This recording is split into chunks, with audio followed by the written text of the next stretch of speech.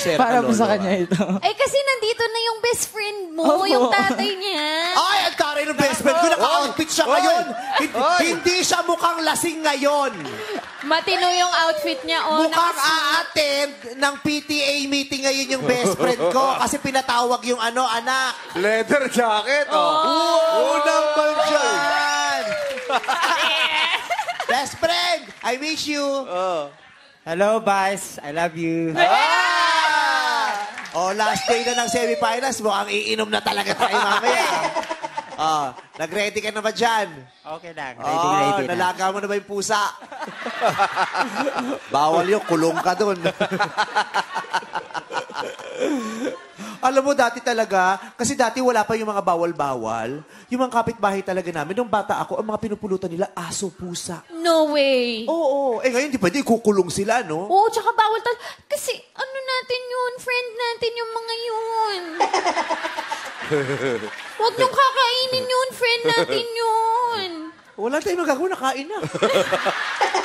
Wow. Noon, bawal, ngayon talaga bawal, Bawal na. maling-mali. Sobra. Animal bad rights. yun. Maling-mali, Oo, oo. Bad yun, bad yun, bad Ani- yun. uh, animals are just like humans. Yes, they We love are not us. supposed to eat each other. Totoo. Di ba? Totoo yun. Para yung mga Wow. manok. Lalo na ka na. Cat and dog owner ka na. Yeah. I have Diba? two cats, I have two dogs, and I have one bird.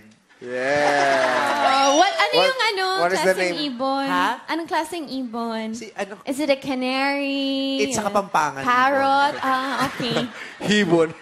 ang tawag sa akin, hibon. May sakit yung hibon. Gusto mong ilot? ilot mo naman yung hibon. Oy, pero tanungin natin si mommy naman. Ay, Kasi oo yung nga. Tatay niya, yung may anting-anting. Kayo po ba, nagmana din po ba kayo ng mga ganyang things? Wala po. Ang Wala. taray, from anting-anting, naging things. Things? Ba't di mo na nagawin ang thing, ang things? Nagmana ba kayo ng mga ang things, ang things, an, para sosyal? mga anting-anting. Sa'yo. Anong, may, meron bang naibigay sa inyo ang thing, ang thing, mother? Wala naman po. Wala. Yung buhok Di ba lang. pinapamana yun?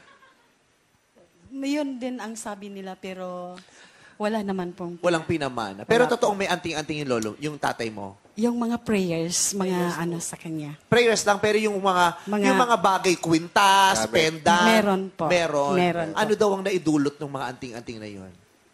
Kasi pag ano kasi may every 6 o'clock, then every uh, 12 o'clock, yun, nag, nag-pray siya. May dasal. Ah, Ah, nagdadasal yung siya. anting-anting, Yun ang... tumutunog, o 6 o'clock na, 12 o'clock na. Hindi naman po. Oo, baka alarm clock lang yan, mother. Akala nyo anting-anting. Hindi Pero naman di ba po. yan mga ganyan pinapamana kapag kunyari papanaw na yung ano. O kaya, oh, kunyari, mayroong pinagdadaan ng mabigat yung mahal sa buhay.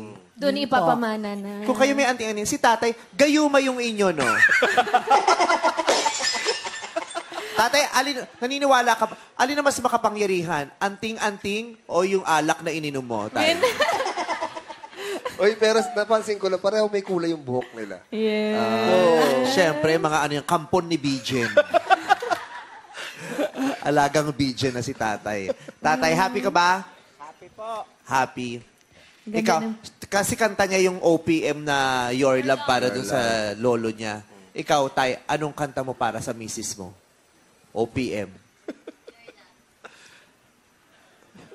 Please release me. Mahal. Mahal? Paano po yun? Paano? Mahal sa'yo, liligaya ang puso. Di ba lasing? Hi, kapamilya! Subscribe to ABS-CBN Entertainment YouTube channel and for more Tawag ng Tanghalan videos, just click the I button. Tawag ng tanghalan sa!